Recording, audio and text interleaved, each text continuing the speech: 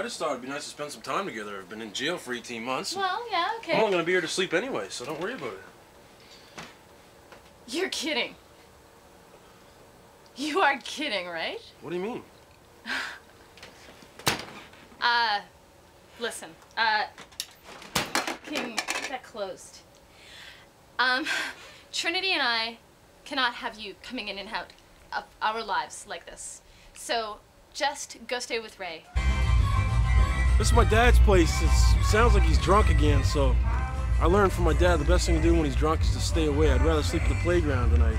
Much as I want to get drunk, I'm not going in there. There could be women. God knows what's going on. So we have to find somewhere else to go, boys.